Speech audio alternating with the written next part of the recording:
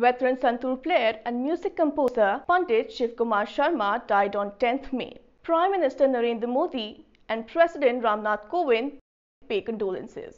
Veteran Santoor player and music composer Pandit Shiv Kumar Sharma died here on 10th May morning following a heart attack, his family has said. He was 84 years old. Sharma, one of the India's most well-known classical musicians, was due to perform in Bhopal next week.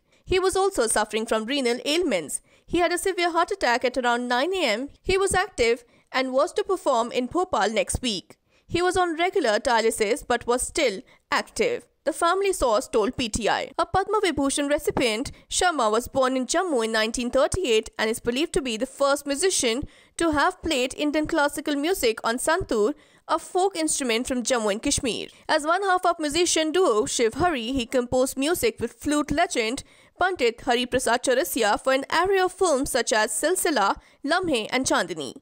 His son Rahul Sharma is also a santur player. The passing away of Pandit Shiv Kumar Sharma ji marks the end of an era. He was the pioneer of santur and his contribution is unparalleled. For me, it's a personal loss and I will miss him no end. May his soul rest in peace. His music lives on forever. Om Shanti. Sarod player Amjad Ali Khan tweeted.